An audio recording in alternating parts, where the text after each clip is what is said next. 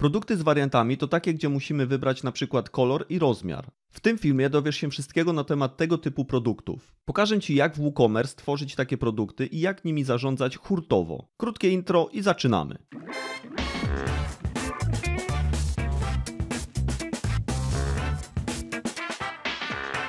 Cześć, tu Mariusz Wysoczański z estartupy.pl. Miejsca, gdzie znajdziesz cenne porady i proste instrukcje krok po kroku na temat budowania stron internetowych bez kodowania oraz rozwijania swojego biznesu online. Jeśli jeszcze nie subskrybujesz tego kanału, to kliknij ten czerwony przycisk pod spodem i dzwoneczek obok. A teraz wracajmy już do tematu filmu. Widzisz tutaj jedną ze stron demo motywu Astra. Jest to bardzo popularny motyw dla WordPress, a link do tego motywu znajdziesz w opisie poniżej. A teraz produkty z wariantami. Zaczynamy oczywiście od stworzenia nowego produktu. Przechodzimy do zakładki Dodaj na pasku narzędzi i wybieramy produkt.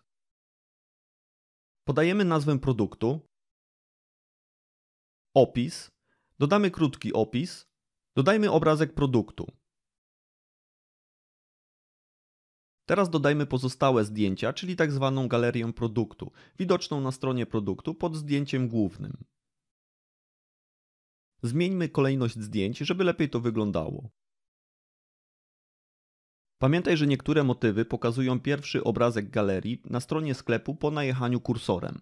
Dlatego jako pierwsze zdjęcie w galerii dobrze jest ustawić podobne zdjęcie do zdjęcia głównego, ale zrobione z innej strony. Żeby pokazać ten sam produkt, ale z innego kąta, tak jakby modelka nam się obracała, żeby lepiej zaprezentować sukienkę.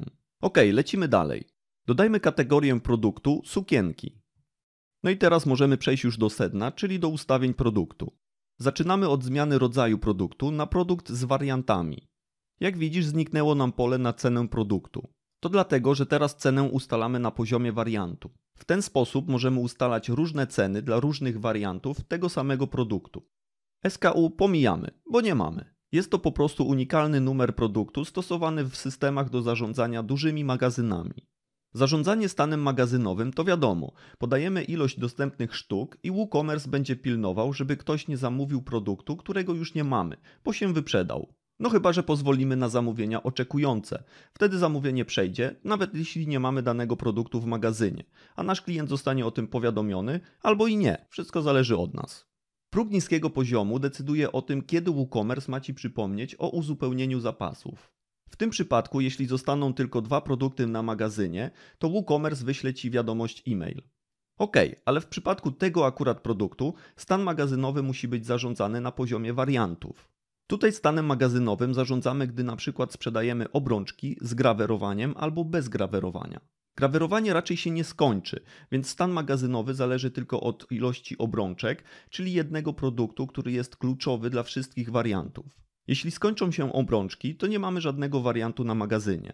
Jeśli skończy się sukienka granatowa, jeden z wariantów, to nadal mamy jeszcze inne warianty bordowy, biały itd. Tak Sprzedawane pojedynczo zostawiamy wyłączone, bo oczywiście chcemy, żeby klienci kupowali po 2-3 sztuki naraz. Im więcej, tym lepiej dla nas. Ta opcja przydaje się, gdy prowadzimy jakąś mega promocję i boimy się, że jakiś zwariowany klient wykupi cały zapas produktów. Albo przy produktach cyfrowych, gdzie kupowanie kilku sztuk naraz nie ma za bardzo sensu. Ok, przechodzimy do zakładki wysyłka. Tutaj możemy podać parametry takie jak waga i wymiary, co będzie potrzebne przy integracji naszego sklepu z firmą kurierską. Przy nadawaniu paczki trzeba u nich przeważnie podać wagę i rozmiar paczki. Klasy wysyłkowe to trochę bardziej zaawansowane opcje wysyłki. Możemy na przykład grupować podobne produkty do jednej paczki albo ustalać inną cenę wysyłki w zależności od wagi i rozmiarów produktów. Klasom wysyłki przyjrzymy się bliżej w osobnym filmie. Idziemy dalej. Powiązane produkty dzielimy na dwie grupy: upsell i cross-sell. Upsell to coś, co chcemy wcisnąć w zamian, bo jest droższe albo lepsze, a my na tym więcej zarabiamy. Upselle są widoczne na stronie produktu na samym dole. Cross-sell to coś, co można sprzedać jako dodatek do produktu głównego. Na przykład do sukienki możemy zaproponować jeszcze torebkę i to będzie cross-sell. Produkty z grupy cross-sell będą pokazywane na stronie koszyka. I w końcu mamy zakładkę atrybuty, czyli kluczową część jeśli chodzi o produkty z wariantami. Dlaczego? Bo atrybuty to inaczej właściwości produktu, na przykład takie jak kolor i rozmiar. To na podstawie atrybutów WooCommerce pozwala nam generować różne warianty produktu. Oczywiście poszczególne warianty nie muszą się różnić wszystkimi właściwościami, dlatego mamy tutaj opcję dla wariantów. Jeżeli dany atrybut ma być inny dla każdego wariantu produktu, to zaznaczamy opcję dla wariantów. Wtedy podczas tworzenia wariantów produktu będziemy mogli użyć tego atrybutu. Ale jeżeli chcemy na przykład podać nazwę producenta, która jest taka sama dla wszystkich wariantów produktu, to zostawiamy opcję dla wariantów wyłączoną. Atrybuty nie muszą być widoczne. Jeżeli dodając atrybut zostawisz zaznaczoną opcję widoczny na stronie produktu, to na stronie produktu pojawi się dodatkowa zakładka z wszystkimi atrybutami, które ustawiliśmy jako widoczne. Ale po kolei. Nasz produkt to sukienka, która ma 5 różnych kolorów i 5 różnych rozmiarów. Musimy więc stworzyć odpowiednie atrybuty. Klikamy dodaj i podajemy najpierw nazwę pierwszego atrybutu. Niech to będzie kolor. Teraz musimy podać wartości atrybutu, rozdzielając je znakiem pionowej kreski. Tylko proszę o wyrozumiałość, jeśli nie trafiłem z nazwą koloru. Podajemy wszystkie dostępne kolory produktu. Zostawiam zaznaczoną opcję widoczny na stronie produktu, więc atrybut ten razem z listą dostępnych wartości będzie widoczny na stronie produktu w zakładce dodatkowe informacje. Zaznaczam opcję dla wariantów, bo chcę stworzyć osobny wariant produktu dla każdego podanego tutaj koloru. Klikamy zapisz atrybuty. Dodajmy teraz atrybut rozmiar. Klikamy dodaj, nazwa rozmiar i podajemy wszystkie dostępne rozmiary. Niech będzie widoczny na stronie produktu. Zaznaczamy dla wariantów i zapisujemy. Możemy dodać jeszcze kilka innych atrybutów, na przykład producenta. Ale tutaj już nie zaznaczamy dla wariantów, bo ten parametr będzie taki sam dla wszystkich wariantów tego produktu. Tak samo jak materiał czy zapięcie. Ok, mamy już wszystkie atrybuty, więc możemy przejść do zakładki warianty. Tutaj dodajemy poszczególne warianty naszego produktu. Klikamy idź i mamy tutaj dwie listy: dowolny kolor i dowolny rozmiar. Są to listy z wartościami atrybutów kolor i rozmiar, bo to przy tych atrybutach zaznaczyliśmy opcję dla wariantów. Wybieramy więc kolor bordowy i rozmiar S. Wybieramy obrazek tego wariantu, włączamy zarządzanie stanem magazynowym, podajemy cenę, ilość produktów w magazynie i czy pozwalamy na zamówienia oczekujące. Na koniec zapisujemy zmiany. Ok, no to mamy pierwszy wariant gotowy. Pierwszy z 25, bo 5 kolorów i każdy ma po 5 rozmiarów, 5 razy 5 równa się 25. Czyli jeszcze tylko 24 warianty do skonfigurowania. Nie, no co ty. Jest trochę łatwiejszy sposób. Rozwijamy tą listę dodaj wariant i tutaj mamy całą listę działań masowych na naszych wariantach. Wybieramy na przykład utwórz warianty z wszystkich atrybutów i klikamy idź.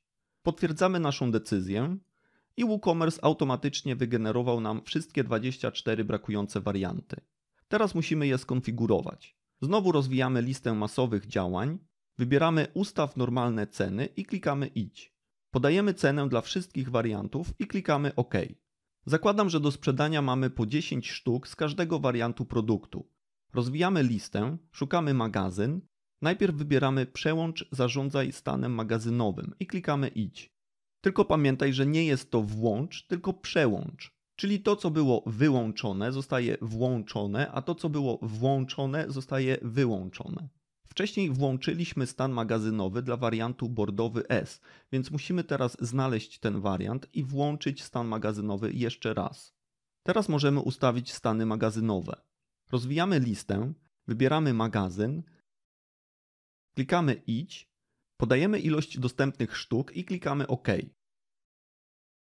Niestety obrazków wyróżniających dla wariantów nie da się ustawić hurtowo. Trzeba je ustawić ręcznie dla każdego wariantu. W zasadzie to nie musimy i też będzie ok, ale z obrazkiem wariantu jest lepiej. Ustawmy obrazek wariantu biały S. Zapisujemy zmiany, publikujemy produkt i zobaczmy stronę naszego produktu. Gdy nie mamy wybranego żadnego wariantu, widzimy po prostu zdjęcie główne produktu. Kiedy nasz klient wybierze wariant z ustawionym obrazkiem produktu, to automatycznie pokaże mu się obrazek tego wariantu. Jeśli nie ustawisz zdjęcia wariantu, to po wybraniu takiego wariantu WooCommerce przewija galerię zdjęć do zdjęcia głównego produktu. Może to trochę dezorientować klientów, szczególnie kiedy niektóre produkty mają obrazki, a niektóre nie. Dlatego myślę, że jednak warto poświęcić ten czas i poustawiać obrazki dla wszystkich wariantów. Oczywiście obrazek wariantu to może być dowolne zdjęcie. Nie musi to być zdjęcie z galerii produktu. Przejdźmy do edycji produktu i ustawmy jakieś inne zdjęcie dla wariantu granatowy M. Weźmy ten obrazek butów.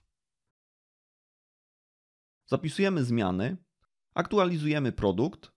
W zasadzie to nie musimy już aktualizować produktu, gdy zmieniamy tylko warianty i klikniemy zapisz zmiany, ale ja lubię dmuchać na zimne. Zobaczmy teraz wariant granatowy M na stronie produktu. I pokazuje nam się obrazek butów, którego nie ma w galerii zdjęć produktu. Odświeżmy teraz stronę produktu. Zauważ, że po odświeżeniu strony domyślnie nie mamy zaznaczonego żadnego wariantu i przez to przycisk dodaj do koszyka nie jest aktywny. Oczywiście ma to sens, bo żeby coś dodać do koszyka, musimy najpierw powiedzieć WooCommerce, który wariant. Ale jeżeli chcemy, to możemy ustawić jakiś wariant domyślny, który będzie już od razu wybrany po wejściu na stronę produktu. Przejdźmy do edycji produktu i pokażę Ci jak to zrobić. Służy do tego ta funkcja domyślny wariant. Możemy wybrać tylko jeden atrybut, który będzie domyślnie wybrany, albo możemy wybrać obydwa atrybuty domyślne. Wybierzemy sobie wariant domyślny biały S, czyli ten z obrazkiem wariantu. Zapisujemy zmiany i przejdźmy na stronę produktu. Jak widzisz, po wejściu na stronę produktu automatycznie jest zaznaczony wariant domyślny i od razu pokazuje nam się obrazek tego wariantu. Teraz pozostaje kwestia jeszcze ogarnięcia tych wszystkich atrybutów, kategorii i tagów. Jak tego używać? Kiedy używać atrybutów, a kiedy tagów i dlaczego? Na te pytania odpowiemy sobie w kolejnym filmie z całej serii filmów poświęconych WooCommerce. I to na razie wszystko na dzisiaj. Jeśli podobał Ci się ten film, to będę wdzięczny za łapkę w górę.